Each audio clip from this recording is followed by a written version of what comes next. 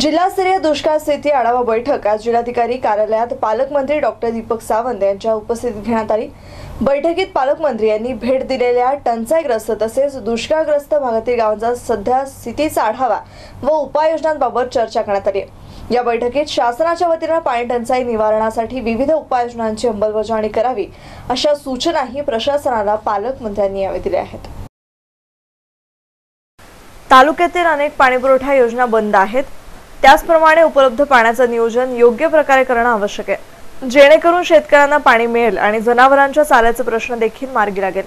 तसेच बोंडाळीग्रस्त शेतकऱ्यांना नुकसान भरपाई यासह विविध समस्यांचं निराकरण व्हावं यासाठी प्राधान्य असेल. तसेच मुख्यमंत्र्यांकडेही याचा पाठपुरावा करण्यात येणार असल्याचं पालकमंत्री डॉक्टर दीपक सावंत यांनी यावेळी सांगितलंय. बैठकीत जिल्हाधिकारी उदय चौधरी खासदार चंद्रकांत खैरे जिल्हा परिषदेचे मुख्य कार्यकारी अधिकारी पवननीत कौर जिल्हा परिषदेच्या अध्यक्षा देवयानी डोणगावकर यांच्यासह अधिकारी व पदाधिकाऱ्यांची उपस्थिती होती.